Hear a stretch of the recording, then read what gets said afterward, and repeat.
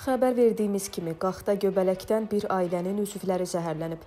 Göbələkdən zəhərlənən rayonun Tasmalı kənd sakinləri özünü ekstrasens kimi təqdim edən Bayram Nurlunun qohumlarıdır. Xəstəxanaya yerləşdirilən 1974-cü il təvəllüdlü Qasımov Mübariz İbrahim Xəliloğlu Bayram Nurlunun yeznəsinin qardaşıdır. Zəhərlənmədən dünyasını dəyişən 2009-cu il təvəllüdlü Qasımlı Murad isə Mübarizin oğludur.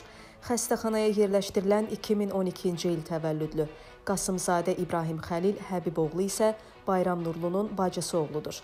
Əldə etdiyimiz məlumata görə 9 yaşlı uşağın da həyatını xilas etmək mümkün olmayıb və o gecə saatlarında yerləşdirildiyi xəstəxanada dünyasını dəyişib.